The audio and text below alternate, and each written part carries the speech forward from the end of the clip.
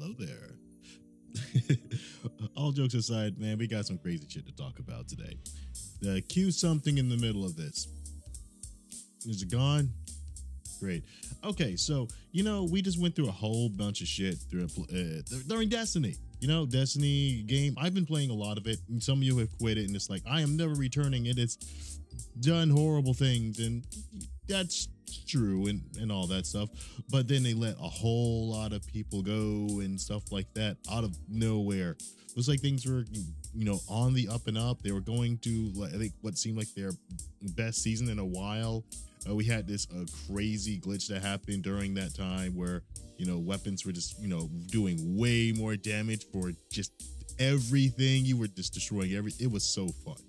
Um and then all of a sudden you know hey yeah we let go a lot of people and and stuff like that. And if you look around, there's a lot of companies doing that. I'm not here to talk about Destiny. What I just said about it is what it is. What if you know for that company?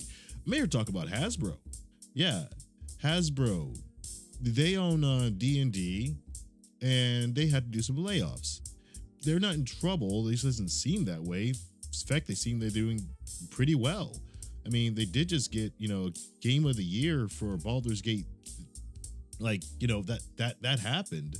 Um, but no, it, it just seems like just regular old cost cutting, letting go 20% of like their staff and, and people and folks and stuff like that. And a lot of the people have been, you know, on Twitter, you know, you know, basically saying, you know, with their pieces, uh, their goodbyes. Um, it, again, another set of layoff where it's fast no time prepare for this. No one was ready for the, you know, for the changes.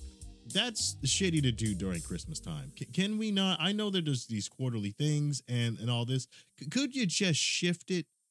We are. It is a. It is the 21st at 9 p.m. I, I'm just saying, man. I mean, I mean, they didn't do it today. It was just a couple days ago, but come on, have a heart you know, or if you can afford, buy one.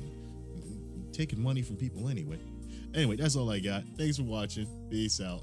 Maybe some real content next time. I, uh, I, I had I plan to give you our our uh, big scoop on the Twitch controversy.